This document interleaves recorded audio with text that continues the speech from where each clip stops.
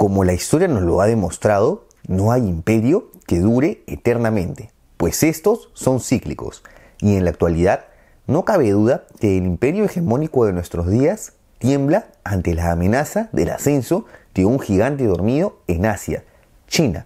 Sin embargo, el ascenso de esta enorme nación al escenario mundial ha sido relativamente reciente y se ha venido consolidando luego de pasar por diversos procesos, pasando de ser uno de los países más pobres y atrasados del mundo a la segunda potencia económica con miras de ganar la hegemonía del mundo.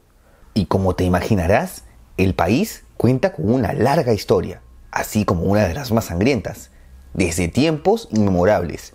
Y en este video abarcaremos tanto la dinastía Ming, que surgió de las cenizas del imperio mongol, como la dinastía Qing, último bastión imperialista de China. ¿Te interesa conocer este periodo de la historia del gigante asiático? Dale, entonces quédate hasta el final del video.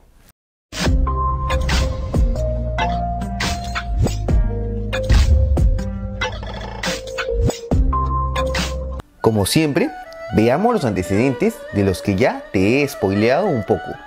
Hacia el siglo XIII, el actual pueblo chino estaba dividido en ciertos reinos gobernados por dinastías.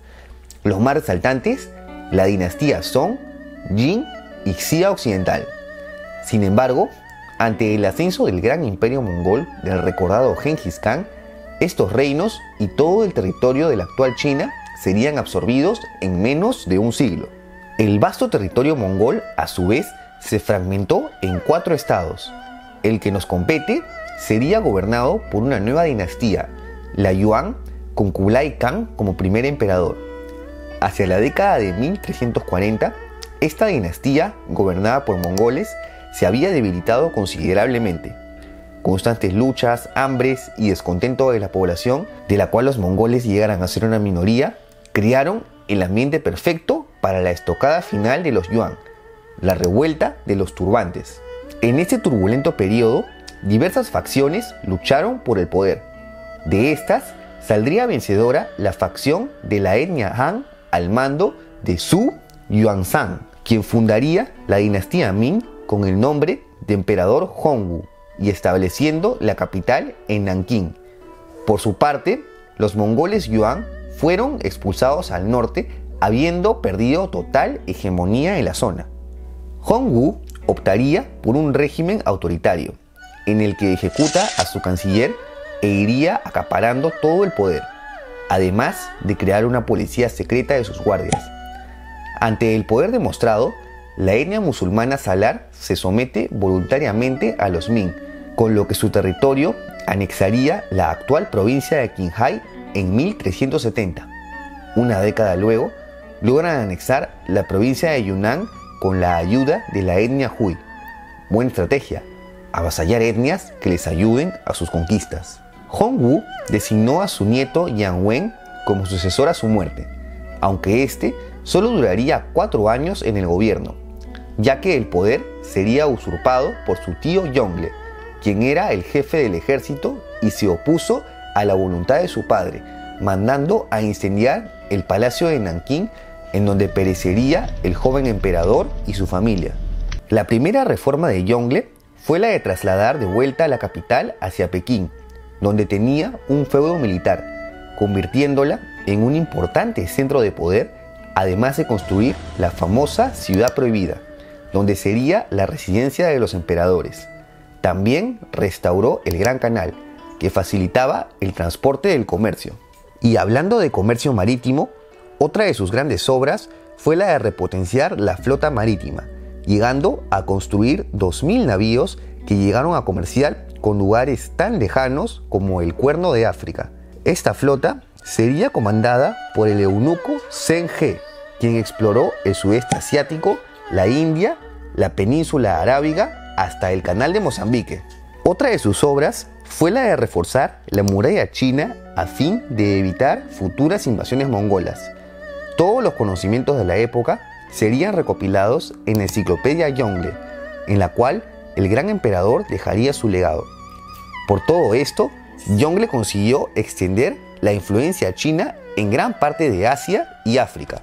Durante los posteriores gobiernos a Yongle se iniciaría la decadencia de la dinastía Ming, la cual se plasmó durante la crisis de Tumu, en la que los mongoles invaden territorio chino, llegando incluso a secuestrar al emperador Tong. Sin embargo, con un cambio de ministro de guerra, las fuerzas mongolas pudieron ser repelidas. Consecuencia de esto, inestabilidad política. Cabe resaltar también el inicio del contacto con los europeos.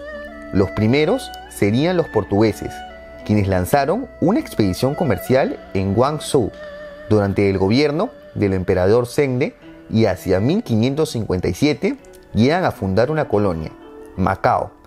Posteriormente, entablaron relaciones con la Compañía Neerlandesa de las Indias Orientales, establecidas principalmente en Indonesia, y con los que comerciaron seda y porcelana.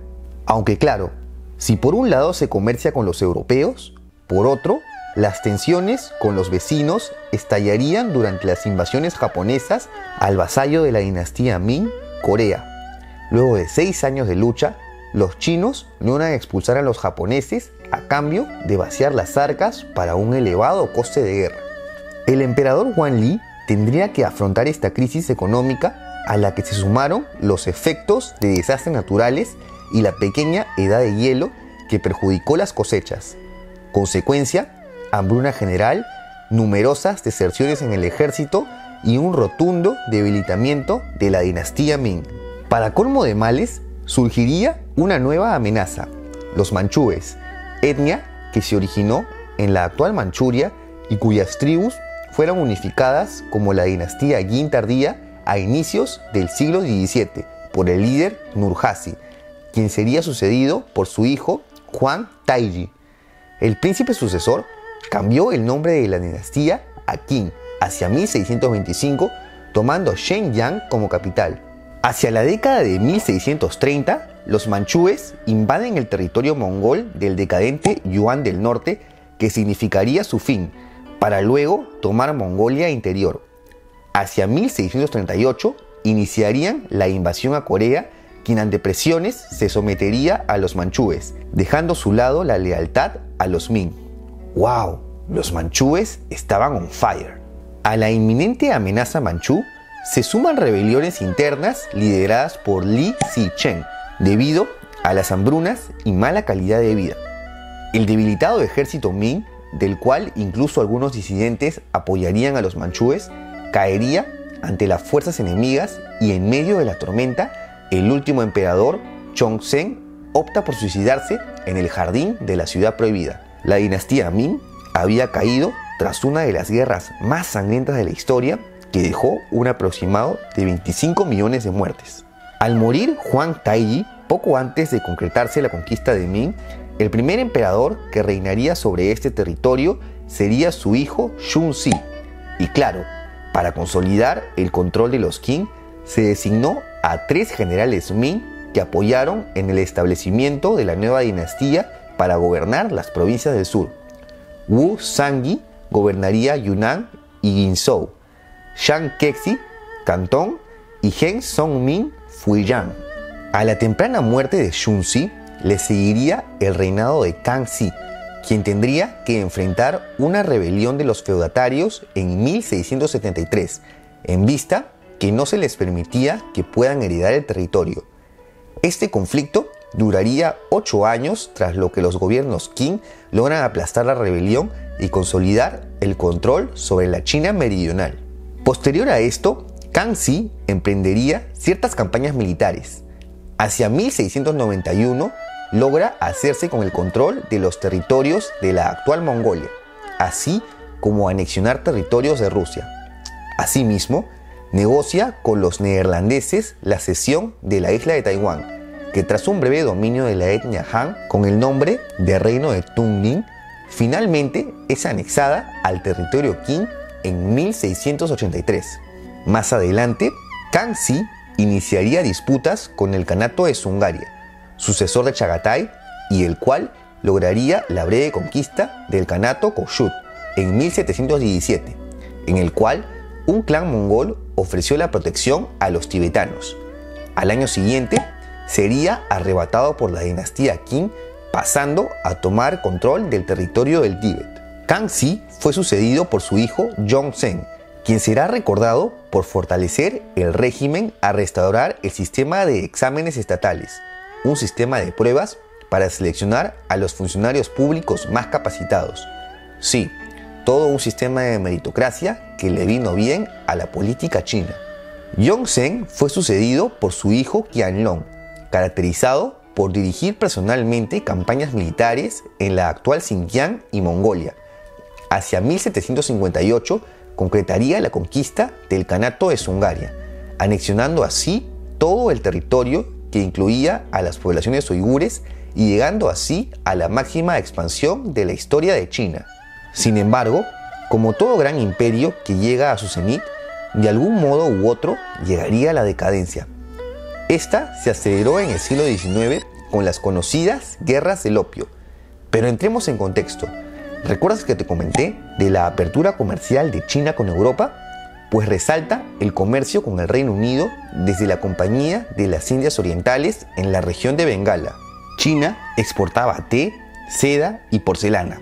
Reino Unido proveía opio que como sabrás pues causa adicción por lo que su comercio sería restringido por el emperador Dao Wang, causando un déficit comercial para los británicos. Con esto, optarían por el contrabando que llegó a la venta ilegal de unas 1.400 toneladas de opio al año.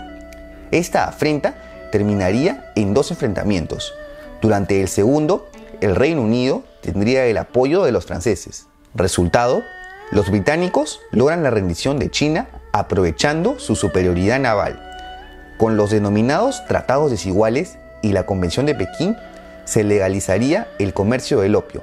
Reino Unido obtiene la colonia de Hong Kong y China, además de tener que dar una dura compensación económica, se vería forzada a abrir el comercio internacional perdiendo el control de sus relaciones comerciales. Otros tratados desiguales se firmarían con Rusia. El Tratado de Aigún en el que China cede a los rusos los territorios a la izquierda del río Amur, y el Tratado de Tabagatai, donde cede parte de Xinjiang al actual territorio de Kazajistán. Razón de estas sesiones, los rusos habían enviado gran cantidad de tropas en la frontera y a los Qing se le hubiese hecho imposible abrir una guerra en un nuevo frente.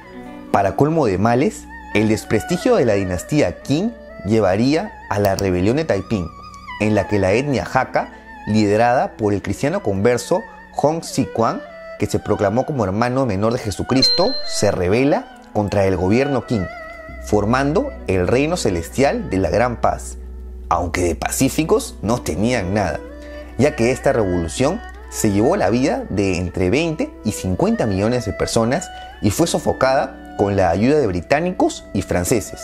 Durante el ocaso de la dinastía Ming, entraría en escena la emperatriz Cixi, conocida como la emperatriz viuda, y quien se las ingenió para tener el control de la dinastía de facto como regente primero de su hijo Tongxi y luego influenciando a su sobrino durante su gobierno, el emperador Guangxu. Por esto se le conoce como la gobernante detrás de la cortina. Con respecto a su gobierno, pues es controvertido. Por un lado, lograría recobrar cierta estabilidad tras las sangrientas guerras del siglo XIX al reprimir constantes rebeliones durante la década de 1860, pero por otro, se le acusa que toda actividad política era en base a permanecer en el poder, como el hecho de confinar al emperador Guangxu en el palacio ante su intento de aplicar la reforma de los 100 días en las que buscaba reformas siguiendo al modelo occidental. Hacia fines de siglo, los Qing enfrentarían diversas amenazas extranjeras. La primera, la guerra franco-china, en la que Francia reivindica su soberanía sobre el Toiquín bajo protectorado chino, en el actual Vietnam, y así anexarlo a la Indochina francesa. Además, con el Tratado de Tianjin, no solo Francia, sino otras potencias extranjeras consiguieron concesiones extraterritoriales en territorio chino, además de abrir aún más el comercio exterior por nuevos puertos. Ante el ascenso de una nueva potencia en el área, Japón, Cixi tendría que afrontar la primera guerra sino-japonesa, en la que la emperatriz viuda pagaría las consecuencias de no haber modernizado el ejército. Esta derrota, que además de perder la soberanía de Taiwán y la influencia sobre Corea, significó la pérdida de la hegemonía china en la región ante el naciente imperio del Japón y empeorar aún más la reputación de la dinastía Qing. Con esto, ideas republicanas que buscaban modernizar China al estilo de la restauración Meiji en Japón comenzaban a surgir.